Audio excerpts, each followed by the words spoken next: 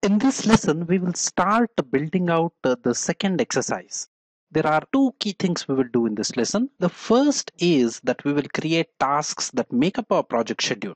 Secondly, we will get a deeper understanding of the extremely important Gantt chart view. I urge you to also fire up Microsoft Project, keep your project exercise files handy, and follow along with this video lesson.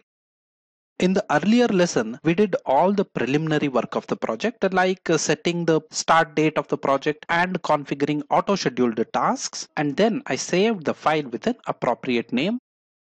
Now we have to create the tasks that make up our project schedule. First, make sure you have the Gantt chart view itself open on your screen. If it is not so, just select it from the view tab here. Make sure you have the Gantt chart view selected. To create tasks, you can just go directly and start typing in the task name. This is exactly what we did in the first exercise. But now I am going to show you a simple shortcut. Since you will already have the task name in the downloaded text file, you can just get it from there. On the screen now, I have our objectives text file open. You can see it has all the tasks listed in the bottom. Just select all of them and copy. Then come over to project again, position your cursor correctly and just paste. You will immediately have the 11 tasks that make up our project schedule inside your file. Just notice now that all the tasks have the same default duration that is one day and they have the same start date for each task that is the project start date and hence as a result of these two they will all also have the same end date.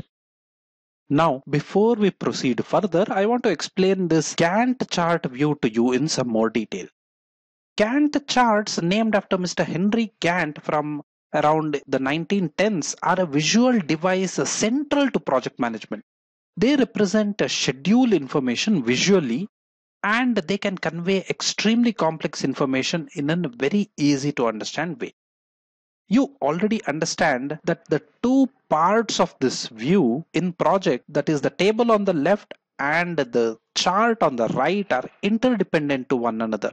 Changes to one side immediately reflect on the other side also. For example if i change the duration of this task to 5 days it will immediately reflect here in the chart view also. And it also works the other way around. I just undid it and see it works exactly the other way around also.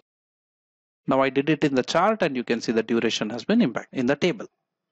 For the chart view here, you can use the zoom controls like this and you can use the scroll bars to position the view also accurately. This Gantt chart view is really central view to Microsoft project and most of your work will be on this view. So get extremely familiar with this view.